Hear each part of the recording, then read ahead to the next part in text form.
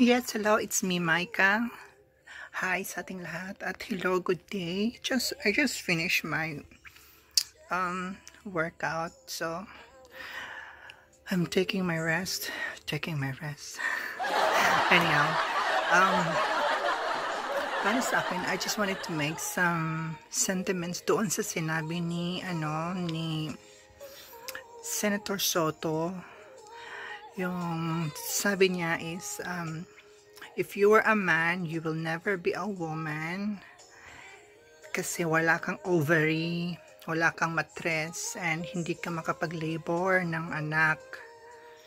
Kaya, hindi niya ipapasa ang Soji bill.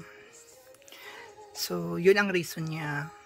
Una, um, ang tanong ko, bakit ba ganun, ah, ganun kalaki ang galit nyo? Or bakit ba ganun ang perception nyo sa mga transgender or sa mga LGBTQ?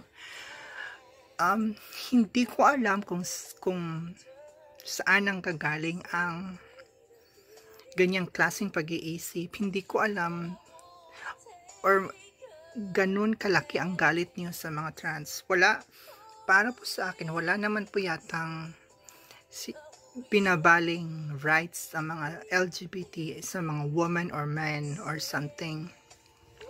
Kasi kung ako tatanungin nyo, syempre tatanungin nyo po ako, syempre ako alam na alam ko na biblically um, lalaki at babae lang ang ginawa ng Diyos. Alam na alam ko yon pero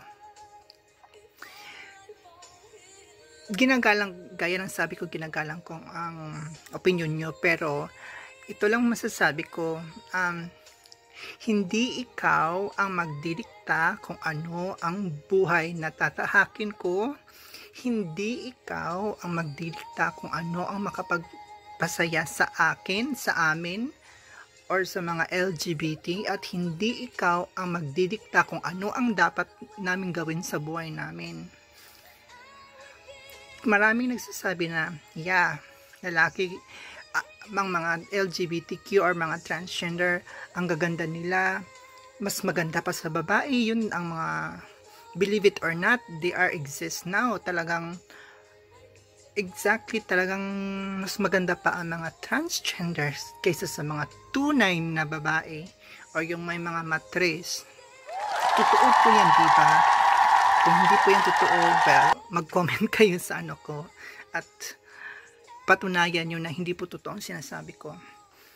Um, para po sa akin, bakit po ang hirap-hirap ipasa ng social bill? Me personally, I agree and I um, I support Soji Bill kasi ako personally na-experience ko po kasing ma-discriminate. Na-experience ko po mismo talaga yung laitin or yung yung i-degrade ka ng tao. So,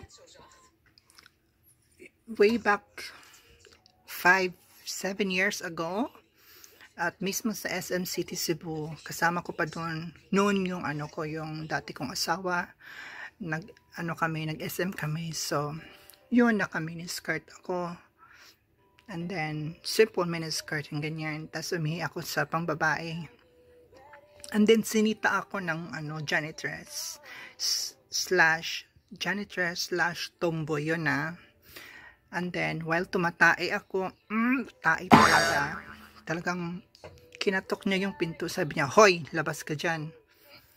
Sabi ko sa sarili ko, um, yeah, aware na ako, parang aware na ako doon sa may, mga ganong eksena kasi hindi na siya bago ngayon. May nangyayari na talagang ganon. So, um, pagkatapos kong mag ano, gumamit ng toilet, um, kinausap ko yung janitor. Sabi niya, sinabi ko sa kanya, pwede nyo naman hong sabihin na um, hin, pwede naman ho kayong magtanong kung alam ko ba ho ang rules dito sa inyo or ganyan. Pwede nyo ding sabihin na um, bawal po kayo dito. May rules po kasi. Pwede naman po idaan lahat sa mga hinahon or sa magandang usapan or yung idaan lahat, you know, yung hindi kailangan mang-insulto, hindi kailangan magpakita ng ano ng pag-uugali. Kasi ako, nakakaintindi po ako. Pag sinabing bawal dito, okay, sige, bawal. Pero yung pakitaan ka ng pag-uugali, yung, palang, yung Alamarga Mondragon na pag-uugali, yun parang yung sungay mo talaga magiging ano talaga Dragon Ball. Kaya to ang point ko lang is sana um um ang point ko about sa Sochipe is yung alam mo yun yung may mga tao kasi na sobrang nang aabuso kasi iwan ko kung ano yung background depende siguro sa background nila or sa ano nila bakit sila ganon.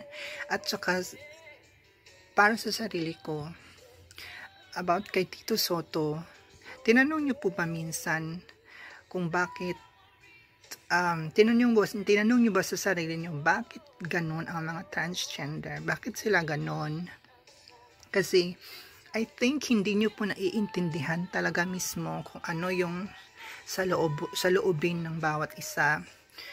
You do note, sabi nga ni ano, you do note, the liar is my pink.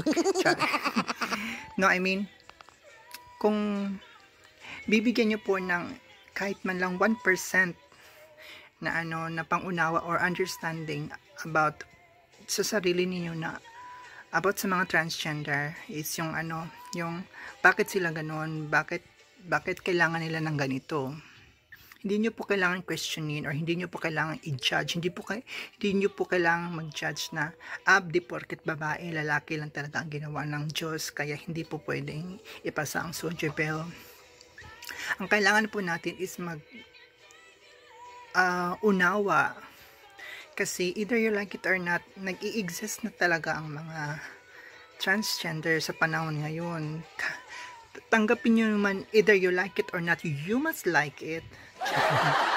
so, yun lang. Um, yun lang ang ano ko is sana hindi po ano, hindi, um, hindi po kayo hatlang.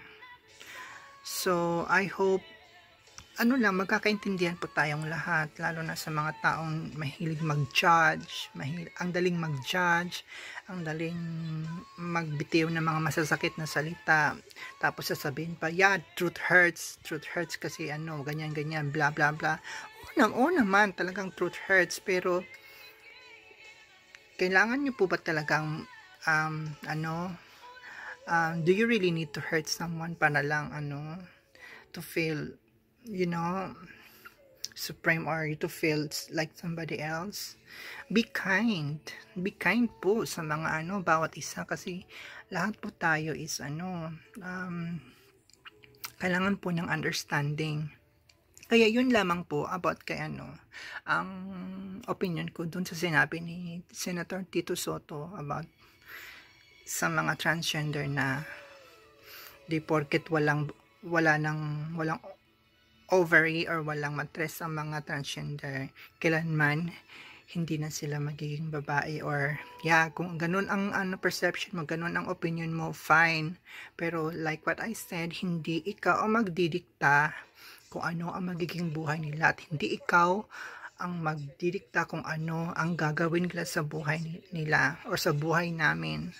So yun lamang po and I hope sana and this video is not about hurt anybody or insult anybody. Para po sa akin, dapat magkaintindihan po tayong lahat. Kunting unawa lang sa bawat side. Hindi po natin kailangan magsakitan or mag-away. Hindi po natin, no need for that. So, yun lang. And I thank you.